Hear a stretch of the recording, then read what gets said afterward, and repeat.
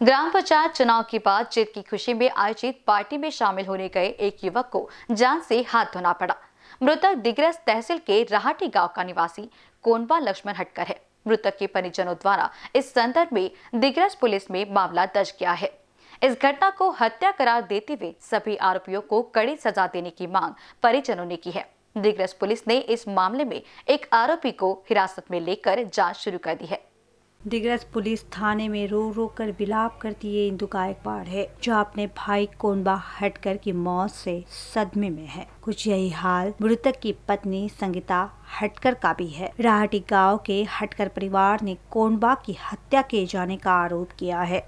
इस संदर्भ में मृतक के परिजनों, ग्राम निवासियों, रिश्तेदारों ने गुरुवार को दिग्रस पुलिस थाने का रुख करते हुए हटकर परिवार को न्याय दिलाने की मांग की है। इस दौरान मिली जानकारी के अनुसार हटकर परिवार के सदस्य ने बताया कि ग्राम पंचायत चुनाव में जीत दर्ज करने के बाद नारायण गवाने द्वारा किसी खेत में पार्टी का आयोजन किया गया था, जिसमें मृतक कोनबा को मोबाइल पर कॉल कर आमंत्रित किया गया था। जब कोनबा खाना खा रहा था, तब आरोपी विश्वास गव्हाने ने कोनबा के साथ बदसलूकी करते हुए तुझे पार्टी में किसने बुलाया कहकर न सिर्फ़ अपमानित किया, बल्कि ग्राम पंचायत चुनाव में कोनबा हटकर के परिवार ने उन्हें वोट नहीं दिया। इस बात को दोहराते हुए कोनबा हटकर को छुरा खोप दिया, जिसमें उसकी मौत हो गई। इस आशय का आरोप हटकर परिवार ने किया है। काल इलेक्शन झालं आणि निवडून आले नारायण गव्हाणे.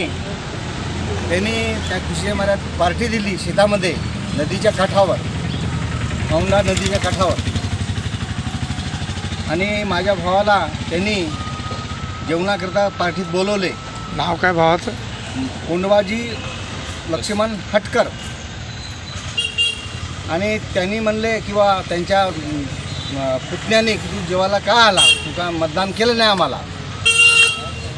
असा जेवत असताना एक लगेच सुरी त्यांनी छातीत खूप सवली आणि जीवानं मारून टाकली.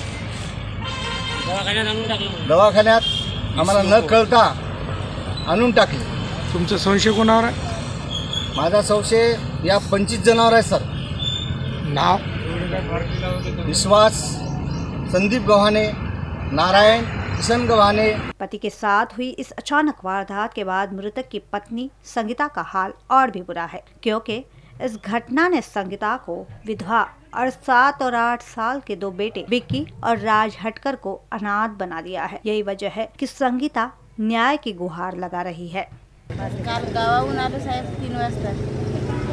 आणि पार्टीवाल्यांचा फ़ोन आला. प्रकाश म्हणून आहे. त्यानं बोलवलं पार्टी सारा ये म्हणून हो. बस तिथून अर्ध्या घंट्यामध्ये तीन साडेतीन वाजता त्यांच्यापाशी पार्टीमध्ये पोहोचले हो. त्या पार्टीमध्ये काहीतरी दांगडो झाला वाटतं.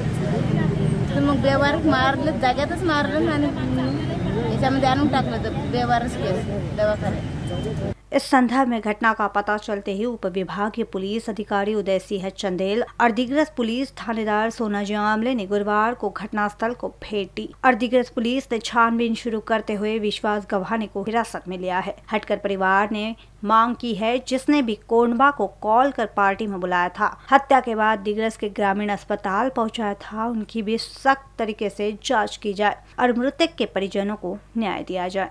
ऐसी मांग की है। देखना होगा कि छानबीन के बाद इस मामले में दिग्रस पुलिस के हाथ क्या निकल कर आता है। बी न्यूज़ के लिए जुबैर खान की रिपोर्ट।